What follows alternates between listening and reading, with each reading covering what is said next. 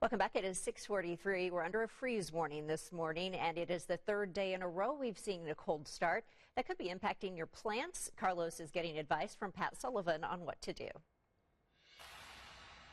Yeah, Julia, we're getting February weather in April. These cool temperatures, how are they affecting our plants, our yards, our gardens? We talked to Pat Sullivan from Sullivan Hardware and Garden about all that. Still six feet away from Pat Sullivan. It is cold this morning once again, so how are you kind of keeping your plants insulated, if you will? Well, the things that we have covered, actually what we've left outside is cold, cold weather plants, pansies, uh, some stocks, some dianthus, different things. So they can take some temperatures, but when we get frost coming, we actually will actually cover them with a frost cloth. And we do that because where the cold doesn't kill them, the frost will actually burn the color off of them. That color is important, so we don't want to lose the blooms.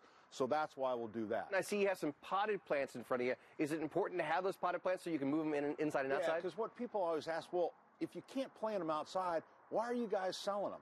Well, the reason we sell them, people like gardening is, is a hobby. People like getting a start on it. So people put things in containers. So this should not be outside. This shouldn't be outside probably till early May. But when you have it in a container, you just take it, put it inside, put it in the garage. What should we be doing this weekend? Because Chuck says this weekend, not going to be 80 degrees, but it is actually going to be kind of nice. Yeah, it'll be nice. You know what? This is a great time to get out in the, the uh, lawn.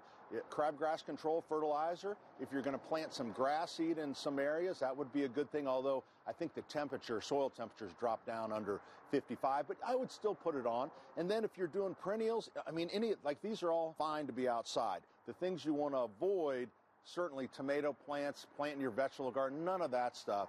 But perennials, absolutely. Trees, shrubs, perennials. But Pat, what about seeding when it comes to grass seed and vegetable seed? Which is good, which is bad for this weekend? Well, you know, uh, grass seed, certainly this is the time, although I think with the cold snap, maybe the temperatures are a little bit low for germination, but that doesn't mean to be a great time to get the soil prepared, get the seed down. Now, as far as like vegetable seeds, you know, it's so cold. If you put them down, they're just gonna they're not gonna germinate. So I think it's too early for some of the, the warm weather crops. Grass seeds certainly do it. So vegetable seeds, no. Grass seeds, yes, this weekend. Absolutely. A few vegetable seeds you could put down now, but general rule, probably too early. All right. So listen.